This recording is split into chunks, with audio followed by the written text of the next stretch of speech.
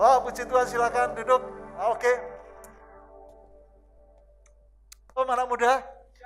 Wow, senang sekali untuk bisa bersama-sama dengan Anda semua terlebih di bulan Februari ini. Bulan yang luar biasa, bulan kasih. Ya, ada momen yang begitu luar biasa yang tentunya banyak anak muda nantikan Valentine. Nah, terlebih siang hari ini kita akan ngomong tentang dunia percintaan. Ya, tapi bukan dari apa yang kita mau, bukan dari apa yang kata dunia katakan, tapi dari kebenaran akan firman Tuhan. Nah, penting sekali materi ini ya tentang hubungan. Di mana tema siang hari ini adalah jangan salah memilih. Tentunya jangan salah memilih akan pasangan. Ya, penting sekali untuk kita hari ini mengizinkan untuk prinsip dari kepada kebenaran firman Tuhan untuk kita membangun sebuah hubungan hubungan kasih yang akan kita jalani. Ya, setiap kita pasti kita akan masuk di fase itu. Tapi hal yang luar biasa hari ini mungkin saudara belum masuk ke fase ini. Tapi hal yang indah atau hari ini saudara sedang masuk dalam fase ini membangun hubungan dengan seseorang adalah di mana kita diperlengkapi terlebih dahulu. Sehingga kita mengerti kebenaran apa, apa yang harus kita jalankan, apa yang harus kita lakukan untuk membangun sebuah kehidupan yang indah, kehidupan yang berkualitas. Amin. Ya, mengapa? Karena untuk setiap kita, dengar anak muda, untuk engkau itu menjadi seorang yang diberkati. Bukan hanya hari ini Anda diberkati, Anda dipakai Tuhan, tapi tentunya kalau hari ini kita dipakai Tuhan, ke depan kita jauh lebih besar dipakai Tuhan. Kalau hari ini kita diberkati, tentunya kita rindu. Ke depan kita jauh lebih diberkati, amin. Tetapi untuk itu saudara, Anda tidak bisa untuk engkau sembarangan. Untuk engkau bermain-main. Untuk engkau coba-coba dalam mempersiapkan akan satu fase di dalam kehidupanmu yang di mana ini akan engkau lewati. Itu dalam hal mempersiapkan akan pernikahan. Ya. Nah ada banyak hal yang akan Anda pertaruhkan. Baik waktu, energi, bahkan hatimu. Kalau saudara sembarangan, kalau engkau bermain-main dalam mempersiapkan akan fase ini, yaitu mempersiapkan akan pernikahan. Dimulai daripada sebuah hubungan pernikahan. Maka engkau akan masuk dalam fase yang sangat menentukan perjalanan kehidupan pernikahan. Dengan begitu banyak hal yang berat. Begitu banyak hal yang akan menjadi beban dalam kehidupan Hatimu yang cacat, hatimu penuh dengan kecewaan, luka. Ya. Nah, satu bagian firman Tuhan terlebih dahulu Pengkhotbah pasal 11 ayat yang ke-9. Firman Tuhan berkata seperti ini. Bersukarialah hai pemuda dalam kemudaanmu. Biarlah hatimu bersuka pada masa mudamu dan turutilah keinginan hatimu dan pandangan matamu. Dunia katakan, "Hei anak muda, masa muda itu harus habis-habisan. Masa muda itu kau ingin apa? Turuti. Ini masa muda, kesempatan. Saudara bisa ambil pilihan tersebut. Apa yang dunia sampaikan, apa yang dunia berikan. Apa yang dunia tawarkan. Tetapi firman Tuhan katakan, tetapi ketahuilah bahwa karena segala hal ini Allah akan membawa engkau ke pengadilan. Dengan kata lain kita mengerti kebenaran firman Tuhan ini. Kita tidak bisa sembarangan dalam hidup. Dengar anak muda, engkau tidak bisa sembarangan dalam hidup ini. Karena apa yang kau lakukan, apa yang kau tabur, itu akan kau tuai. Hari ini memiliki sebuah mimpi, jadilah anak muda yang memiliki mimpi. Aku hari ini dipakai Tuhan, tapi aku ingin dipakai lebih lagi ke depan. Aku hari ini bersyukur Tuhan memberkati aku, tapi aku ingin ke depan diberkati lebih lagi. Katakan amin. Ya. Nah untuk itu penting sekali. Jangan salah dalam memilih. Sebagaimana tema yang diberikan siang hari ini. Jangan salah pilih. Nah, untuk kita jangan salah pilih, yang hari ini diberkatilah setiap Anda yang ada di tempat ini, membukakan akan hati, telingamu, hatimu untuk Tuhan berbicara kepada setiap kita. Demikian juga anak muda, engkau yang tidak bisa dari tempat ini tapi engkau ibadah online. Ya, buka hatimu. Ya. Setiap kita dengar anak muda, penting sekali engkau memiliki pondasi dari prinsip kebenaran firman Tuhan yang kuat sebelum engkau menyatakan atau menerima cinta dari seseorang. Ya, itu sebabnya hari ini kalau saudara belum membangun hubungan cinta, saudara belum menerima atau menyatakan, justru ini waktunya engkau terima kebenarannya. Atau hari ini engkau sedang membangun. Maka jangan lewatkan kebenaran firman Tuhan. Terima, praktekkan, hidupi. Ya. Nah coba kita lihat terlebih dahulu kejadian pasal yang kedua. Ayat 18. Firman Tuhan berkata seperti ini. Tuhan Allah berfirman, tidak baik kalau manusia itu seorang diri saja. Aku akan menjadikan penolong baginya yang sepadan dengan dia. Saudara, firman Tuhan ini berkata Tuhan Allah berfirman. Artinya jelas sekali bahwa Tuhan itu inspirator atas pernikahan.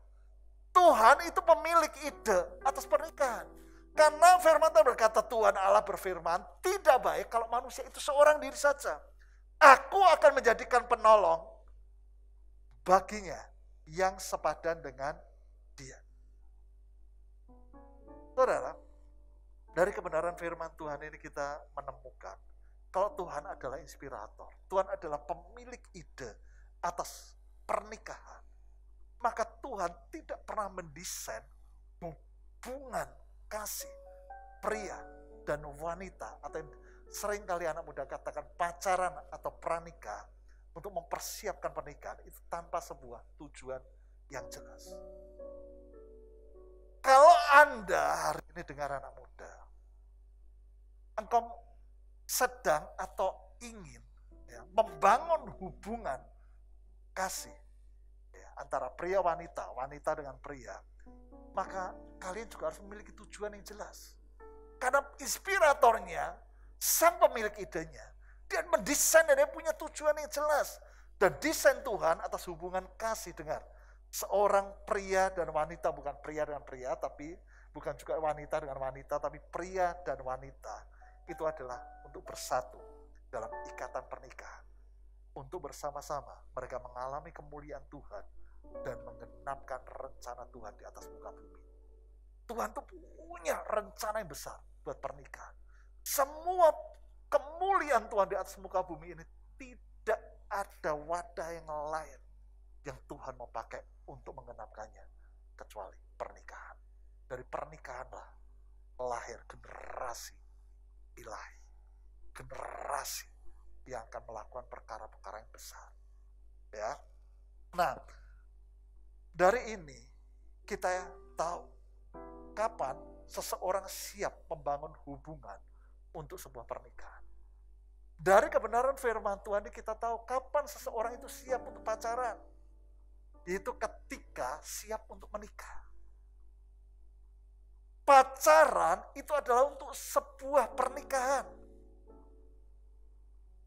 Jangan pacaran kalau belum siap untuk mempersiapkan pernikahan. Dengar oke tempat ini. Tidak ada yang salah dengan yang namanya pacaran. Hubungan kasih antara pria dengan wanita. Tidak ada yang salah dengan hubungan pranikah. Tetapi pacaran atau hubungan pranikah itu adalah untuk sebuah pernikahan. Itu sebabnya jangan pacaran kalau Anda belum siap untuk mempersiapkan pernikahan. Maka itu yang salah. Kalau Anda belum siap untuk mempersiapkan pernikahan, Anda bangun, mau Anda pacaran buat apa pacaran? tujuan Tuhan membangun sebuah pernikahan adalah sebuah tujuan yang jelas. Ketika Tuhan membangun hubungan antara pria dan wanita, Adam dan Hawa, Tuhan punya tujuan yang jelas. Nah, tipuan dunia itu adalah di mana dia menjelaskan tentang hubungan pacaran dengan sebuah prinsip yang dia inginkan yaitu membangun sebuah hubungan tanpa sebuah tujuan yang jelas. Dan itu yang banyak mendatangkan kehancuran karena di dalamnya ada ketidakpastian, di dalamnya ada luka, di dalamnya ada kekecewaan. Doa saya dan saya percaya Kohio juga berdoa. Anak Auge di tempat ini, Anda tidak mengalami sebuah struggle hubungan seperti ini. Di dalamnya tidak ada sebuah kejelasan di dalamnya diisi kekecewaan dan kecewaan. Di dalamnya terdapat luka demi luka. Nah, dari mana kita tahu Kalau seseorang itu sudah siap untuk membangun hubungan pernikahan. Yang pertama, kita tahu seseorang sudah siap untuk membangun sebuah hubungan pacaran. Itu yang pertama, sudah bekerja atau memiliki penghasilan. Ketika Tuhan berkata, tidak baik manusia itu seorang diri saja. Aku akan menjadikan penolong sepadan dengannya. Adam pada waktu itu, Adam tidak nganggur. Nanti baca di rumah kejadian pasal 2. Adam itu tidak nganggur. Tapi Adam itu sedang sibuk menjalankan panggilannya. Adam sedang bekerja mengelola akan. Itu sebabnya salah satu tanda seseorang siap pacaran, itu adalah dia bekerja. Dia memiliki penghasilan. Jangan jadi seorang anak muda. Anda belum siap untuk pacaran. Tapi Anda pacaran. Salah satu tandanya, Anda belum bekerja, Anda belum memiliki penghasilan. Anda masih setiap pagi, Mama minta uang. Pacaran itu berapa banyak? Anda tahu what pacaran.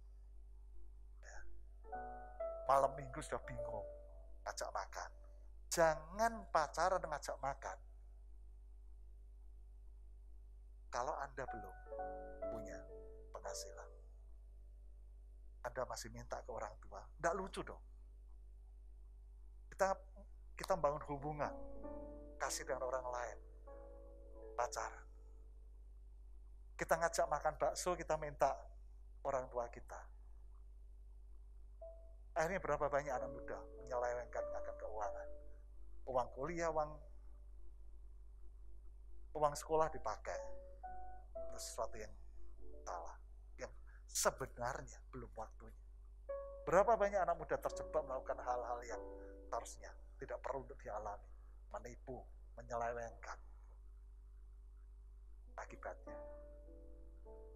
Yang kedua, tanda seseorang itu sudah siap membangun hubungan pernikahan atau pacaran. Itu adalah dewasa. Adam itu ketika Tuhan berkata, tidak baik manusia seorang diri saja akan menjadikan penolong sepadan dengannya. Adam itu dewasa. Demikian juga Hawa. Hawa itu anak-anak firman Tuhan katakan, aku akan menjadikan penolong sepadan. Sepadan itu artinya selevel. Adam dewasa, Hawa dewasa. Jangan menikah dengan anak-anak.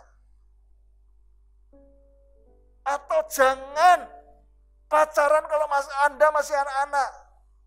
Tidak ada kecil-kecil. Kecil-kecil dari pengantin tidak ada.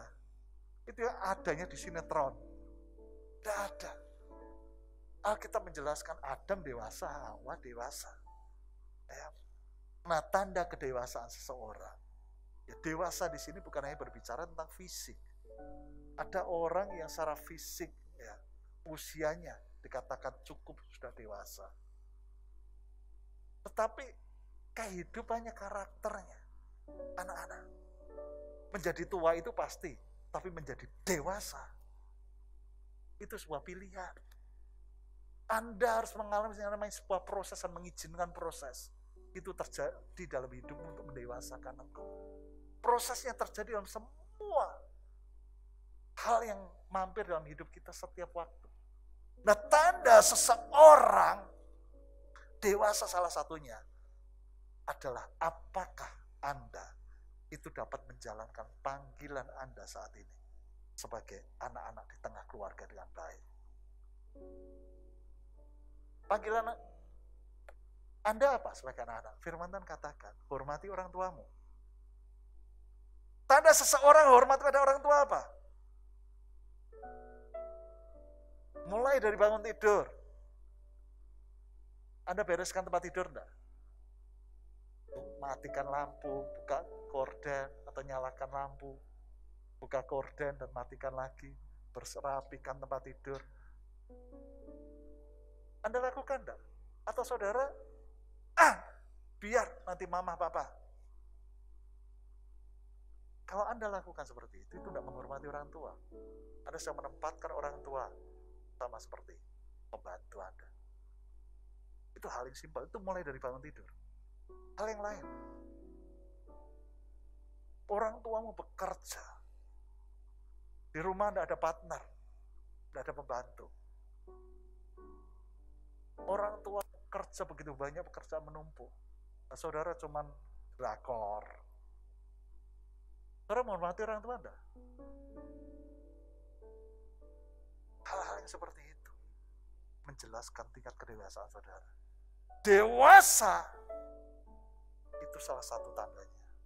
Anda dapat menjalankan panggilan sebagai anak-anak di tengah keluarga. Dimulai dari hal itu. Kalau dalam area ini aja Anda gagal menjadi anak, bagaimana Anda mau menjadi seorang yang dewasa, dikatakan dewasa dan dapat memimpin anak-anak.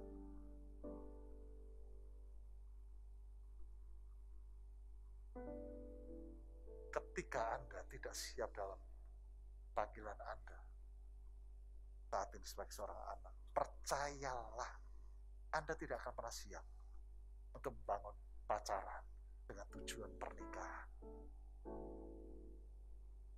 Bagaimana mungkin anak-anak mau kecil-kecil jadi pengantin? Tidak mungkin. Itu sebabnya fase ini harus Anda persiapkan sedemikian rupa. Saya mulai dari dasar. Kalau kita berkata jangan salah pilih, itu mulai dari dasar. Saudara, dengar, dengerin anak muda. Orang yang dewasa secara karakter atau penuh, itu yang akan menjadi orang yang dapat menciptakan pernikahan yang luar biasa. Karena pernikahan itu adalah 100% ketemu dengan 100%. Pernikahan itu bukan 50% ketemu 50%. Artinya kalau hari ini Anda ingin membangun pernikahan yang luar biasa, Anda harus menjadi pribadi yang sepenuh dewasa 100% dan pasangan Anda adalah yang sepadan yaitu 100% penuh atau dewasa. Sehingga Anda atau pasangan Anda ya, itu tidak berkata, pasanganku itu bisa memenuhi aku yang akan membahagiakan aku. Sehingga saudara, kalau hubungan yang tidak 100% ketemu 100%, tapi yang 50% 50% itu adanya sebuah hubungan yang menyakitkan. Kenapa? Adanya saling menuntut. Untuk masing-masing itu dapat memenuhi. Saudara mau membangun hubungan dalam apa? Saudara pernah dengar atau saudara Anda mengalami? Bangun hubungan dengan seseorang Selalu. Lagi apa? Kenapa? Kok enggak hubungi itu? Ini aku lagi sibuk. Ya tapi kan seharusnya bisa telepon sebentar. Aku enggak bisa ini lagi sibuk. Nanti tak call ya. Nah, enggak bisa. Harus diperhatikan, sedikit-sedikit harus perhatikan. Selalu nuntut untuk diperhatikan. Itu tanda seorang yang tidak penuh, tidak dewasa. Kalau tidak dihubungi, kalau tidak diperhatikan, jam makan, harus tanya jam makan belum. Kalau tidak ditanya, marah. Saudara, dengar anak muda. Hubungan yang seperti ini adalah sebuah hubungan yang sangat menyakitkan. Bagaimana dengan kondisi seperti ini kita Anda dapat menciptakan sebuah pernikahan yang luar biasa. Pernikahan yang luar biasa itu adalah persen ketemu dengan 100 persen. Di mana kita katakan sepadan. Itu sebabnya kalau hari ini Anda mau menciptakan, membangun sebuah pernikahan, hubungan yang luar biasa.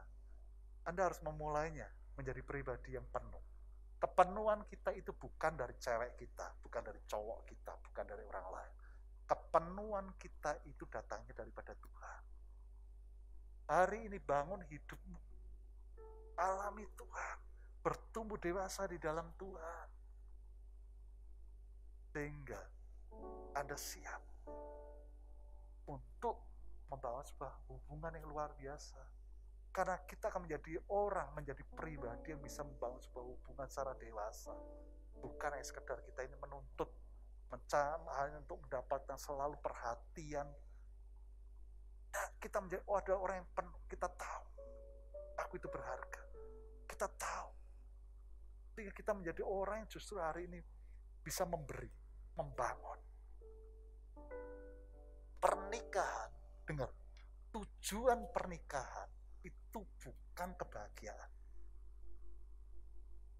Hal yang sangat akan menjadi sesuatu hubungan yang menyakitkan kalau kita membangun hubungan atau pernikahan tujuannya kebahagiaan. Karena kita akan memanipulasi pasangan kita untuk membahagiakan kita. Tujuan pernikahan, hubungan itu adalah pertumbuhan. Kebahagiaan itu datang otomatis seiring dengan kita bertumbuh. Itulah sebuah hubungan pranikah atau hubungan pernikahan. Amin. Saya sangat bersyukur anak muda di tempat ini. Anda sudah membangun hidup Anda hari ini di dalam Tuhan. Terus bangun. Saya percaya Anda adalah orang-orang yang hari ini sedang mempersiapkan dan menggenapi rencana Tuhan yang besar.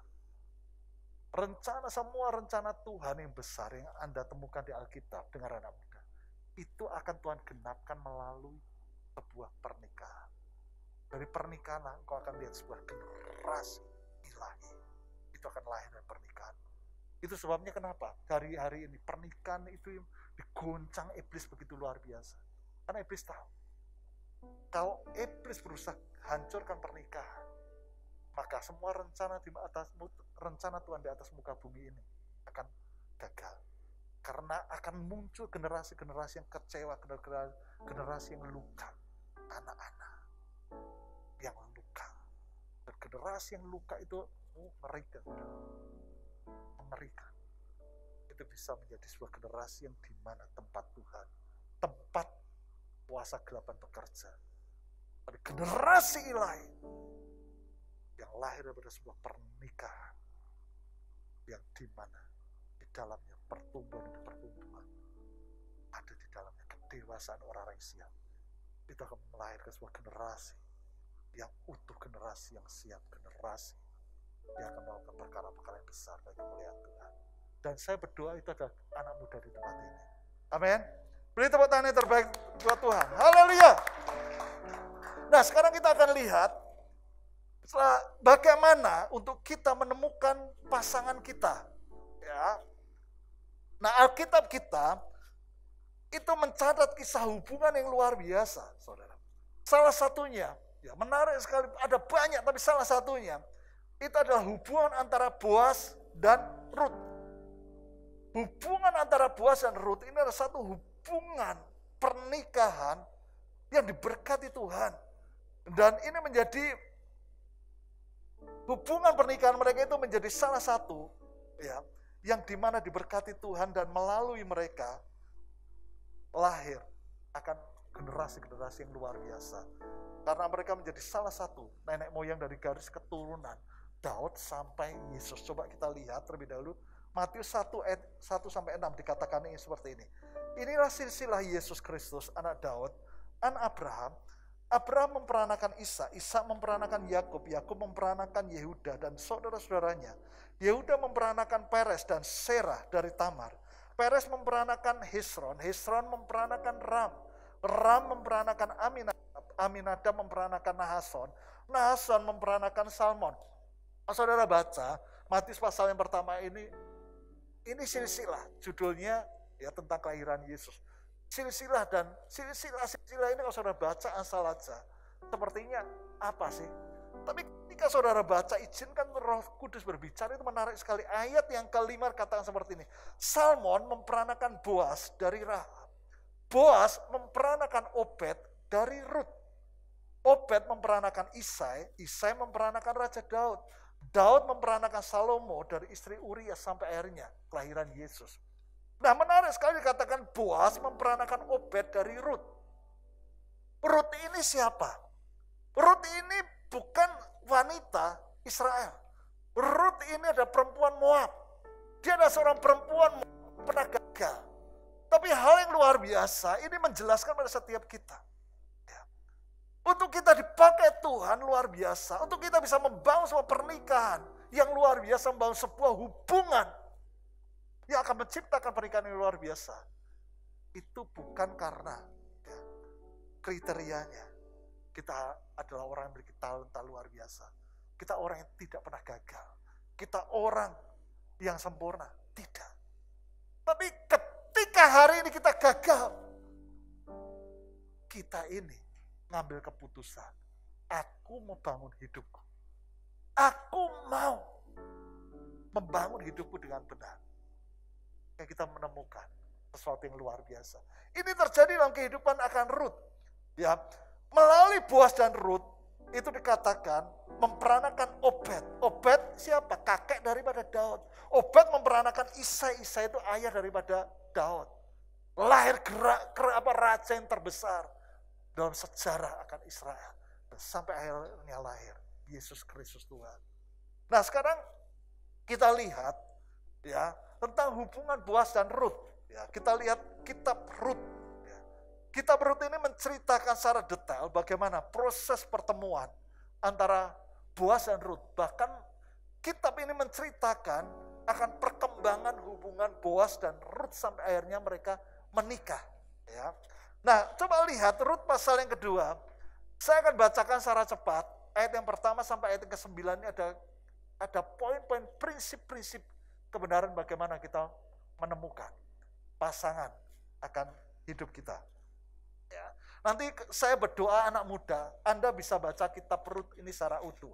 Ya, Naomi itu mempunyai seorang sana dari pihak suaminya. Seorang yang kaya raya dari kaum Elimelek namanya Boas. Maka Ruth perempuan Moab itu berkata kepada Naomi, biarkanlah aku pergi ke ladang, memungut bulir-bulir jelai di belakang orang yang murah hati kepadaku. Dan saut Naomi kepadanya, pergilah anakku, pergilah ia lalu sampai di ladang dan memungut jelai di belakang penyapit-penyapit. Kebetulan ia berada di tanah milik Boas yang berasal dari kaum Elimelek. Lalu datanglah Boas dari Bethlehem, ia berkata kepada penyapit-penyapit itu, Tuhan kiranya menyertai kamu Jawab mereka kepadanya, Tuhan kiranya memberkati Tuhan. Lalu kata Boas kepada bujangnya yang mengawasi penyapit-penyapit itu, dari manakah perempuan ini? Bujang yang mengawasi penyapit-penyapit itu menjawab, dia adalah seorang perempuan Moab. Dia pulang bersama-sama dengan Naomi dari daerah Moab. Tadi ia berkata, izinkanlah kiranya aku memungut dan mengumpulkan jelai dari antara berkas-berkas jelai ini di belakang penyapit-penyapit. Begitulah ia datang dan terus sibuk dari pagi sampai sekarang. Dan seketika pun ia tidak berhenti. Sesudah itu berkatalah Boas kepada Harut, dengarlah dahulu anakku, tidak usah engkau pergi memungut jelai ke ladang lain. Dan tidak usah juga engkau pergi dari sini. Tetapi tetaplah dekat pengerja-pengerjaku perempuan. Ayat 9. Lihat saja ke ladang yang sedang disabit orang itu. Ikutilah perempuan-perempuan itu dari belakang sebab aku telah memesankan kepada pengerja-pengerja lelaki jangan mengganggu engkau. Jika engkau haus, pergilah ke tempayan-tempayan dan minumlah air yang dicedok oleh pengerja-pengerja itu. Nah, menarik sekali dari sekilas kebenaran firman Tuhan ini terlebih nanti ketika Anda baca secara utuh di rumah hubungan yang terjadi antara Boas dengan Ruth atau Ruth dengan Boas itu terjadi dengan cara alami. Ya. Yaitu saat Ruth bersama dengan mertuanya ya itu tiba di Bethlehem dari Moab. Ruth itu dari Moab ya. Nah, ketika Ruth dengan mertuanya Naomi tiba di Bethlehem, Alkitab menjelaskan pada waktu itu sedang tiba musim menuai jelek. Nah, mereka tiba tiba di Bethlehem, mereka itu dalam keadaan habis-habisan. Mereka di Moab itu hancur-hancuran, mereka gagal dalam hidup mereka. Nah, untuk menghidup akan dirinya dan mertuanya, apa yang dilakukan oleh Ruth? Ruth bekerja di ladang Boas dengan cara memungut jelek. Ya. Hal yang menarik sekali Alkitab menjelaskan. Di ladang itulah untuk pertama kalinya Ruth itu bertemu dengan puas. Nah, prinsip kebenaran yang kita bisa pelajari itu kita menemukan pasangan kita. Ya tentunya kita belajar, kita harus belajar seorang yang sukses. Boas, Ruth itu orang yang sukses. Bukannya pernikahan mereka luar biasa, tapi pernikahan mereka melahirkan generasi-generasi yang luar biasa. Ya. Nah, yang pertama yang kita bisa pelajari dari kebenaran firman Tuhan ini untuk menemukan pasangan kita. Yang pertama, Tuhan itu akan mempertemukan kita dengan calon pasangan kita di ladangnya. Tempat di mana Tuhan itu telah atau akan menetapkan kita, setiap Anda anak muda, untuk berperan menghadirkan akan kerajaannya. Dan di situlah Tuhan akan mempertemukan Anda dengan puas atau root Anda masing-masing. Prinsip ini membawa setiap kita mengerti betapa pentingnya dalam hidup kita saat ini untuk kita mengetahui panggilan Tuhan dalam kehidupan kita masing-masing. Baik itu pekerjaan. Ladang itu bisa berbicara tentang pekerjaan usaha kita.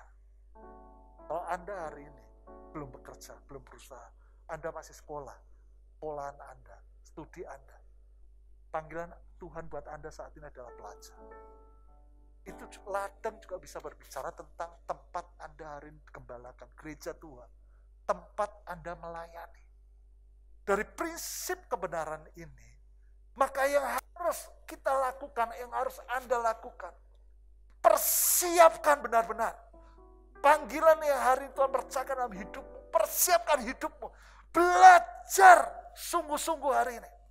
Anda sehari ini sedang apa Anda hari ini sedang ada dalam panggilan Tuhan sebagai seorang student, pelajar, belajar dengan sungguh-sungguh. Kalau Anda hari ini Anda adalah seorang bisnismen, ya, usahakan Usaha yang Tuhan percayakan dalam hidupmu. Sungguh. Belajar lebih lagi. Kerjakan dengan sungguh-sungguh. Bawa dalam doa. Sehingga ketika hari ini Anda persiapkan dengan sungguh-sungguh, Anda geluti dengan sungguh-sungguh, Anda belajar sungguh-sungguh, Anda berbawa dalam doa. Ketika tiba waktunya, maka setiap Anda itu sudah punya kapasitas yang siap ketika Tuhan pertemukan dengan puas pertemukan dengan Ruth Anda. Anda sudah siap untuk membangun sebuah hubungan. Nah,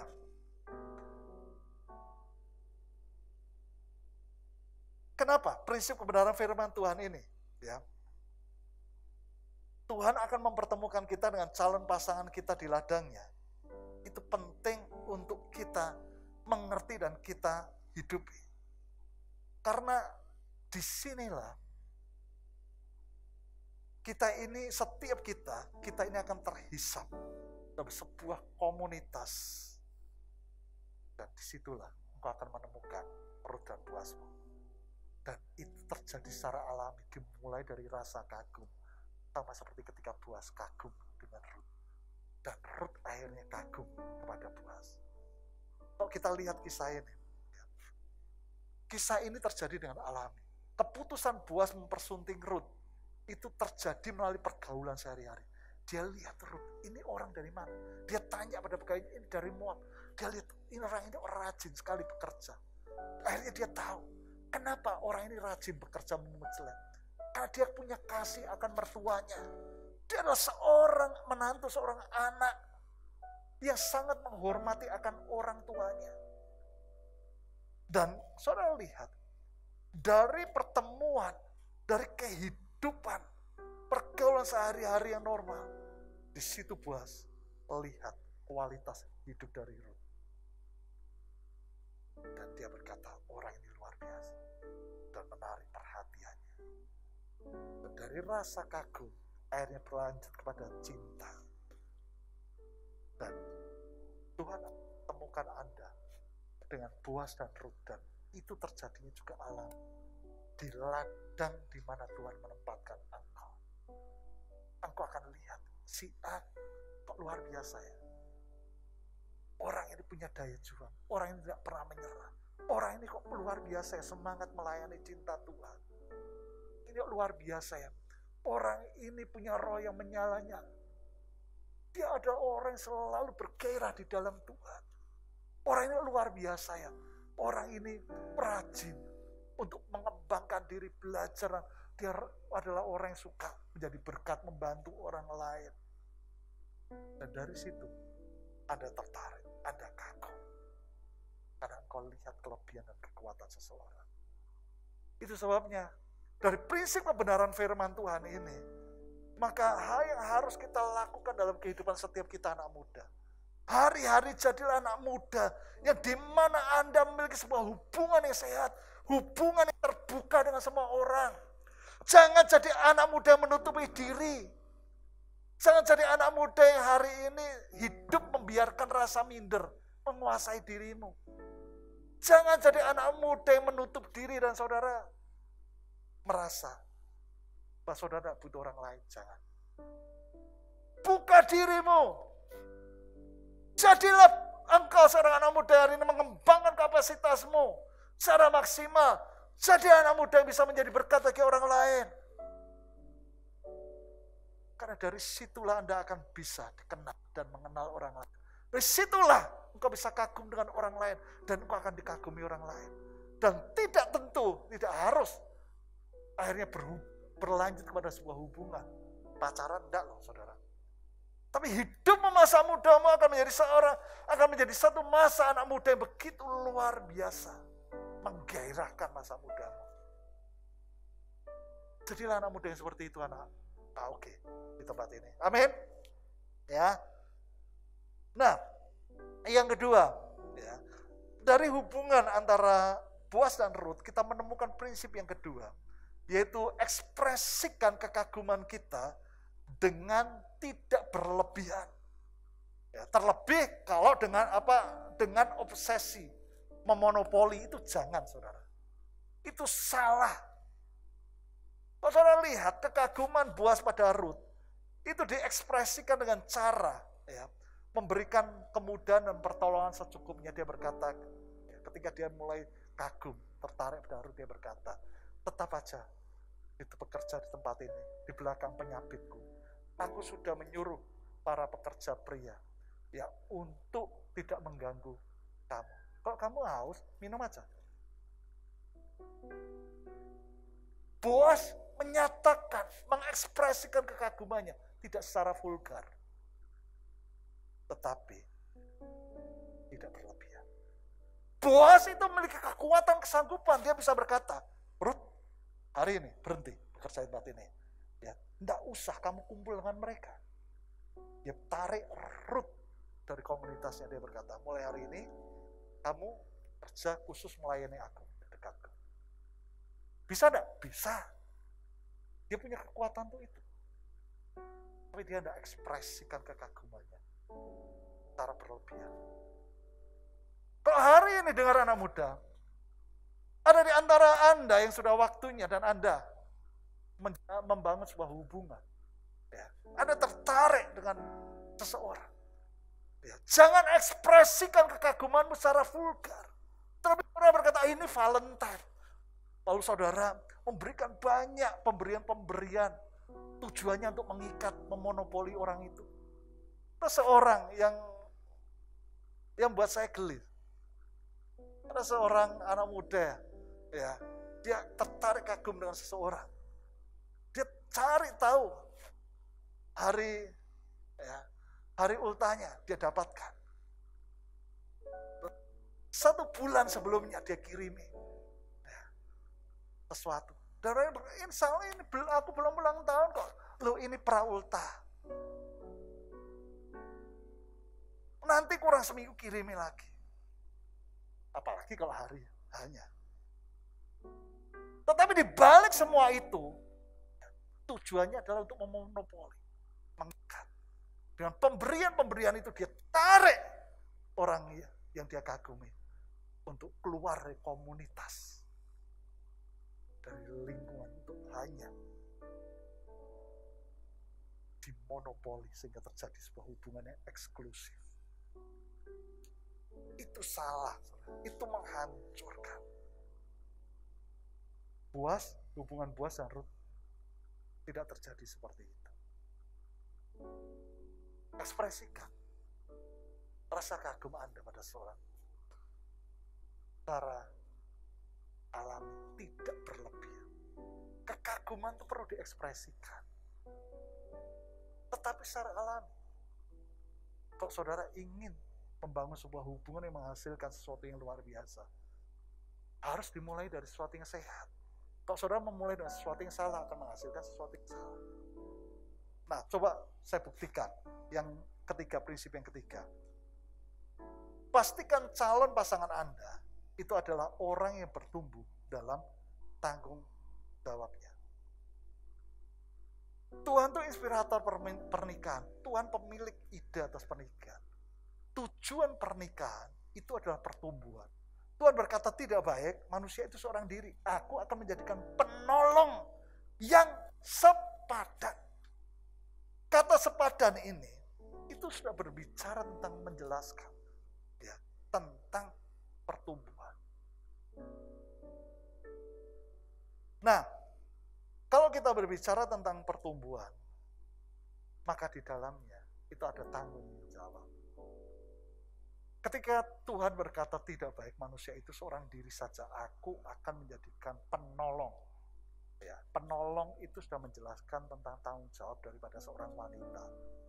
Tanggung jawab seorang pria apa? Pria itu diciptakan sebagai seorang pemimpin. Dengar para pria, engkau tidak pernah bisa lari dari tanggung jawab ini sebagai seorang pemimpin.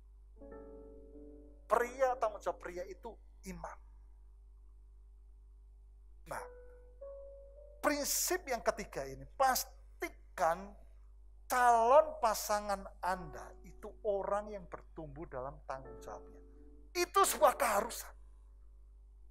Kalau Anda ingin membangun sebuah hubungan dengan seseorang, pastikan sebelum Anda membangun, mengambil keputusan, menerima dan ambil keputusan untuk membangun sebuah hubungan yang akan ber, apa, bertujuan kepada pernikahan. Ya. Pastikan orang tersebut adalah orang yang bertanggung jawab. Kalau pria, pastikan dia adalah orang yang bertang, bertumbuh dalam tanggung jawabnya sebagai pemimpin seorang imam. Mengapa? Karena dengar yang wanita, Anda harus berkata, berpikir seperti ini. Pernikahan itu tiket sekali jalan. Kalau Anda, setiap Anda hari ini, saya tawarin. Saya beri tiket untuk Anda ke Papua. Anda harus berpikir, ada Papua. Papua itu terkenal wisatanya apa? Apa? Kok bisik-bisik semua? Apa? Raja Ampat langsung pikiran kita Raja Ampat. Aku mau, aku mau, aku mau. Tapi yang saya tawarkan adalah tiket pesawat ke Papua kali jalan. Tiket sekali jalan, saya percaya Anda akan berpikir lebih jauh. Pernikahan itu seperti itu. Tiket sekali jalan. Buat kalian para wanita, dengar. Ketika kalian membangun sebuah hubungan, maka Anda harus berpikir, orang ini bertumbuh pria ini bertumbuh dalam tanggung jawabnya. Karena dia ini akan masuk dalam kehidupanku dan dia akan yang akan memimpin hidupku, memimpin anak-anak yang akan aku lahirkan. Seumur hidupku. Tiket sekali jalan. Dia yang akan menjadi imam atas hidupku, atas anak-anakku. Dia bertumbuh enggak? Bukan dia orang yang sempurna, tapi dia bertumbuh enggak? Karena kebahagiaan itu akan datang sendirinya dengan seiring dengan pertumbuhan kita. Yang pria, dengar, ketika engkau membangun hubungan dengan wanita, pikirkan. Dia ini adalah seorang yang bertumbuh dalam tanggung jawab nyata. Firman Tuhan katakan apa tanggung jawab seorang wanita? Penolong. Dia itu yang akan aku pilih menjadi penolong dalam hidupku seumur hidupku dia itu bertumbuh enggak? Dia penolong atau perongrong? Kalau dia bukan penolong tapi perongrong seumur hidupmu, saudara akan dirongrong. Itu sebabnya prinsip ini penting sekali. Pastikan calon pasangan Anda adalah orang yang bertumbuh dalam tanggung jawabnya. saya ini membangun pernikahan 24 tahun, hampir 24 tahun. Dan selama saya membangun pernikahan, saya mengiyakan dan saya menemukan terlebih sebagai seorang hamba Tuhan yang melayani begitu banyak pelayanan hubungan atau keluarga, konseling keluarga. Saya temukan sebagian besar kekecewaan yang terjadi di pernikahan itu bukan seperti yang hari ini anak-anak muda pikirkan. Karena wajahnya, karena fisiknya yang berubah, wow, sebagian besar anak muda ini membangun hubungan, memilih pasangan itu karena fisik, karena wajah. Itu penting tidak? Penting. Penting. Tetapi ketahuilah, sebagian besar hari yang masalah yang terjadi kerat sertaknya hubungan. Kekecewaan yang terjadi dalam sebuah pernikahan itu bukan karena wajah, karena fisik. Wajah mau fisik, wajah maupun fisik itu semua sebenarnya hari ini sangat ditentukan dipengaruhi dengan berapa besar modal yang diletakkan. Ya, kalau saudara ingin ya pasangan saudara ya tetap up to date, sangat ditentukan oleh seberapa besar modal yang diletakkan.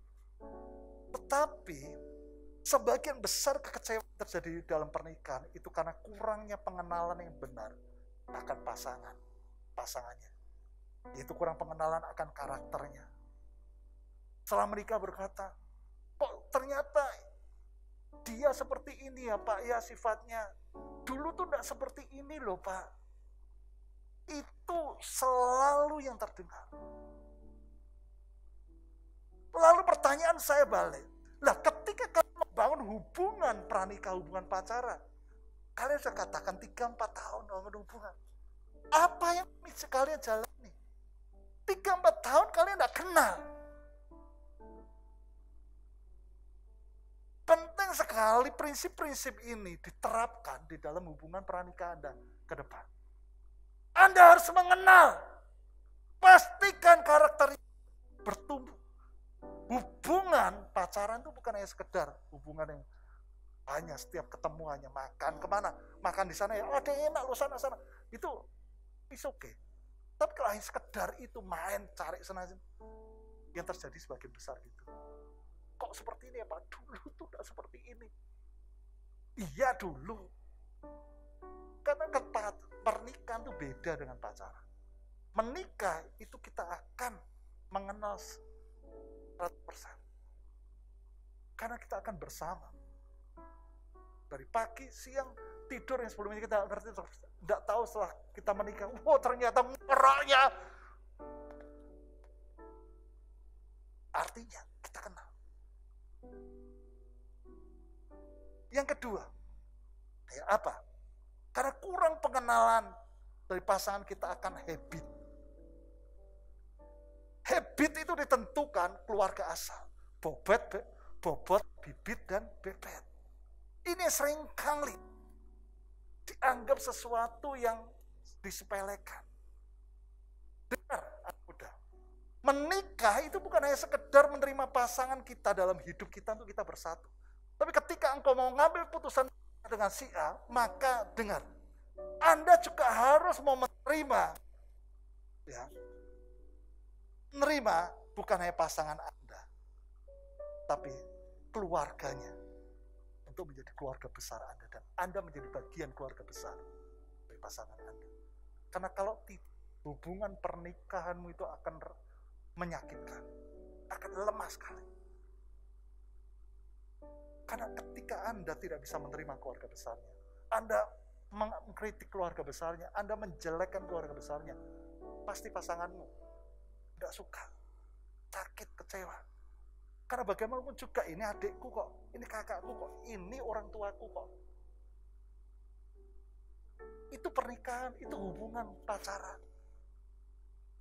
Itu sebabnya ya penting untuk kita ini membangun hubungan pacaran atau pernikahan ya, yang tidak eksklusif berduaan itu yang sering kali terjadi.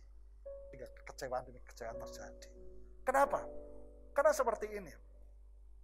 Ketika seseorang sedang jatuh cinta, ya, orang itu biasanya akan dibutakan oleh cinta. Berapa banyak orang ngomong seperti ini? Ya. Orang itu kalau sedang jatuh cinta, itu sejuta rasa. Tai anjing aja rasanya seperti coklat. Pernah dengar seperti itu? Dulu ketika saya muda, teman-teman saya seperti itu. Wah, jatuh cinta sejuta rasa. Waduh, tai anjing aja seperti kalau orang sedang jatuh cinta itu seperti rasanya seperti coklat. Itu orang sedang jatuh cinta. Kan dibutakan oleh cinta. Pentingnya untuk tetap ada dalam komunitas untuk tidak membangun sebuah hubungan eksklusif dalam hubungan pernikah itu adalah di mana? Karena setiap kita itu butuh masukan dari orang-orang yang tepat untuk memberikan koreksi, memberikan masukan untuk kita. Dan komunitas yang tepat itu adalah komunitas yang membangun seperti tubuh Kristus seperti ini. TG, pemimpin rohani kita. Amin. Karena orang yang jatuh cinta itu dibutakan oleh cinta. Kita itu selalu lihat orang yang kita cintai, bak bidadari. Kita lihat orang yang kita cintai, bak malaikat. Kita lihat kesalahannya, tapi kita dibutakan, kita menutup atau kita menutup mata. Nah, izinkan orang-orang di sekeliling kita, komunitas, itu memberikan masukan, memberikan koreksi. Ketika itu saudara terima, dengarkan. Bukan semuanya diterima, ditelan mentah-mentah, tapi dengarkan, renungkan. Itu penting sekali loh. Karena itu akan membuat saudara itu bisa seimbang. Tapi ketika saudara mau hubungan eksklusif, itu yang bahaya sekali. Saudara sedang ada di dalam sebuah satu situasi yang tidak seimbang. Dan akhirnya saudara tersadar, tapi saudara sudah ada dalam satu fase yang berbeda, itu sudah dalam satu fase pernikahan. Sudah terikat. Ikat sekali jalan. Saudara mundur nggak bisa. Dan akhirnya yang terjadi penyesalan, kekecewaan. Tidak ada. Orang mau menyesal, mau kecewa, tetap harus terjadi. Nah, saya bersyukur di gereja kita, kita di perlengkapi oleh kebenaran firman Tuhan. Ya. Nah, yang keempat prinsip yang keempat yang terakhir ya, yaitu sama seperti hubungan Boas dan Ruth, melibatkan orang tua, juga pemimpin rohani. Ya, terus segera libatkan ketika rasa simpati mulai berkembang menjadi rasa tertarik, libatkan para pemimpin rohani kita. Libatkan orang tua kita sama seperti Naomi. Ya, Naomi mulai memberikan arahan kepada Ruth ketika Ruth mulai melibatkan Naomi di Ruth pasal 3 ayat 1 sampai ke 5 ya. Demikian juga Boas mulai melibatkan tua-tua Israel ya. Nah, sepertinya memang ya, rumit namun ketika Anda mempraktekkan prinsip kebenaran firman Tuhan ini, ada banyak hal yang bermanfaat yang dapat Anda peroleh. Saya bacakan secara secara singkat. Yang pertama, ya, pihak pria itu dapat menjadi orang yang bertanggung jawab. Ketika Anda libatkan ya pemimpin rohani, libatkan orang tua. Karena secara khusus sebagai pihak pria, ya, dia akan menunjukkan ketika libatkan orang tua atau pemimpin rohani, ya pria-pria itu sedang menunjukkan pertanggungan jawabnya. Ya sehingga akan berikan rasa aman. Ya tidak hanya kepada pasangan tapi juga kepada keluarga. Ya. Nah, yang kedua, pihak wanita tidak begitu saja dapat dirugikan. Ya, dengan adanya banyak saksi, hubungan yang ter, sedang terberjalan tidak begitu saja dapat diakhiri tanpa alasan yang jelas atau alasan yang kuat. Itu sebabnya di gereja kita, kenapa kita mendorong ya untuk setiap anak-anak rohani yang ada di tempat ini. Ya, ayo. Kalian aman dengan para pemimpin rohani. Terlebih untuk hubungan yang sangat menentukan dalam kehidupan saudara. Libatkan mereka, bukan untuk mereka campur, bukan untuk para pemimpin itu campur. Dan saya berkata para pemimpin di tempat ini. Jangan campur masuk dalam hubungan pri, apa yang terlalu masalah-masalah pribadi. Tapi masuk dalam hubungan di mana mentoring itu harus ada. Ya. Nah yang ke ketiga hubungan yang dibangun akan tumbuh dengan sehat karena adanya mentoring ya keterlibatan orang tua dan pemimpin rohani dalam bina hubungan pranikah akan menghindarkan pelecehan seksual dan tindakan seks di luar nikah karena ada mentoring rohani. Ya, yang keempat, jika ada kasus-kasus gelap pada salah satu pihak, pemimpin rohani dapat mempersiapkan yang satu lagi. Ya, pentingnya keterlibatan pemimpin rohani saat salah satu pasangan ya mungkin dia memiliki apa kegagalan atau masa lalu dalam kehidupannya ketika dia mulai mau menguak itu semua karena itu penting saudara. Karena ketika hubungan sudah mulai menuju ke arah yang lebih ya arah serius maka itu harus diselesaikan karena tidak itu akan menjadi bom waktu. Nah di sinilah ya pemimpin rohani itu sangat berperan penting untuk mempersatukan, untuk menolong yaitu mempersiapkan yang satu lagi ya di mana pemimpin rohani itu bisa menjadi pengayom, pendamai bagi pasangan tersebut ya untuk menyelesaikan. Nah, yang kelima, keluarga kedua belah pihak dapat mempersiapkan diri untuk menerima anggota baru mereka di tengah-tengah kehidupan keluarga besar tersebut. Ya, oke. Okay. Saya berdoa prinsip kebenaran firman Tuhan ini saudara hidup saya berdoa dari tempat ini akan muncul keluarga-keluarga yang diberkati, keluarga-keluarga yang dipakai Tuhan, keluarga-keluarga yang luar biasa. Ya, ketika keluarga-keluarga luar biasa, ya maka gereja akan menjadi gereja yang luar biasa. Ya, amin. Saya undang untuk setiap kita bisa bantu diri. Mari kita datang kepada Tuhan.